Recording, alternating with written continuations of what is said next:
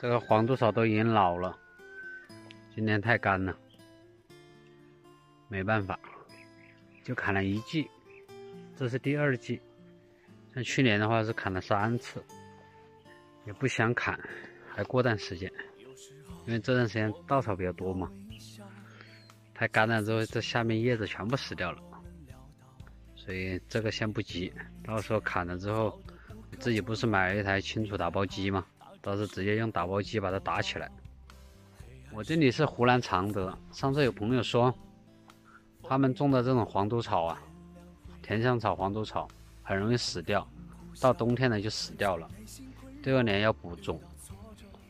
但是我这里的还行哦，没问题，因为之前那时候就拍过视频，我们是有的田是堆的牛粪，有的时候盖的地膜，那种薄膜盖起来。就算不盖薄膜也不会死掉。种的草啊，为什么会死呢？可能跟你的田间管理有很大关系。像我们这个田里面的沟渠啊，到了冬季的时候，比如说下雨多，我们这田里面是不装水的，不盛水的，这个是到处都有沟。它这样的话，底下的土啊，就相对来说温度要高一点，没有那么冷。你看这个沟都是挺宽的，它不会沉水的话，它这个对总结啊也好处，它也不会冻死掉。卖总结的说可以扛到什么零下十五度到二十度，我发现那都扯淡的。像我们湖南这里，最多零下也就。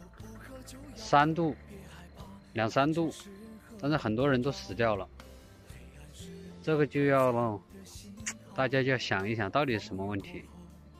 你像这个甜香草也是一样，如果管理不到位，它也会死掉。可能就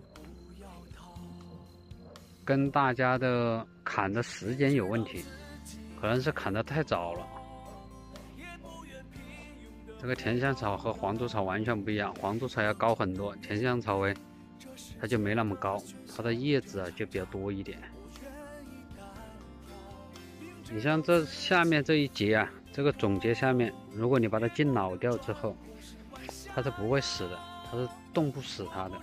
但是如果你砍早了，全是这种小苗啊，那个下面的种节很嫩，它就容易死掉。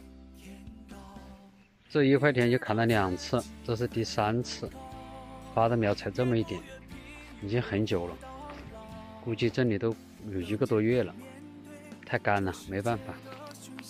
当时砍的时候还以为要下雨，看天气预报都说有雨，但是我们这里啊就没下过雨，几个月没下过雨，所以这个草都不长。像这种嫩草的话，你到这砍了之后。这种就要管理好，不然它真的会死掉，因为它下面呢，下面的这些啊，全嫩嫩的，没老掉。下面这一节没老掉的情况下，温度稍微一低，零下个三五度，它可能就全部冻死掉了。明年就要麻烦一点，就要重新补种。到时候这一块田呢，要把它管理好。如果是和我们这边温度差不多的地方，像那种老一老的，你迟一点砍，你就不用管它，不用盖膜，也不用施牛粪，不用盖牛粪也没问题。